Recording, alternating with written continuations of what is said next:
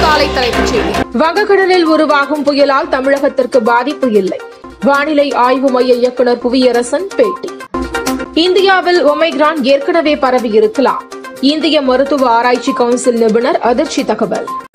உலக நாடுகளை அச்சுறுத்த தொடங்கிய ஒமைக்ரான் வைரஸ். மாநில அரசுகளுடன் மத்திய அரசு அவசர ஆலோசனை. சென்னையில் இன்னும் பத்து நாட்களுக்கு அனைத்து காய்கறிகளுக்கும் தட்டுப்பாடு நிலவும். கோயம்பேடு மார்க்கெட் வியாபாரிகள் எச்சரிக்கை. கொசஸ்தலை ஆற்றின் குறுக்கே தடுப்பணைகள் கட்டப்படும். அமைச்சர் பொன்முடி உறுதி.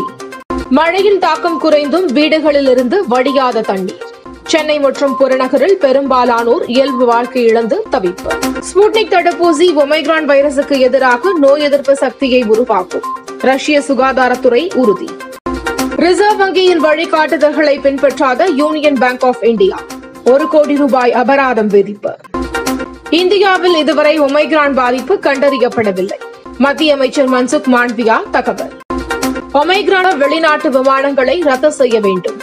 டெல்லி முதலமைச்சர் அரவிந்த் கெஜ்ரிவால் கோரிக்கை. இந்திய அணியின் தென்னாப்பிரிக்க சுற்றுப்பயணம் திட்டமிட்டபடி நடக்கும். பிசிசிஐ நம்பிக்கை. தினம் தினம் நடக்கும் முக்கிய நிகழ்வுகளை சுருக்கமாகவும் தெளிவாகவும் தலைப்புச் செய்திகள் வழியே அறிந்து கொள்ள கியூஎல்என் நியூஸ் சேனலை சப்ஸ்கிரைப் செய்யவும்.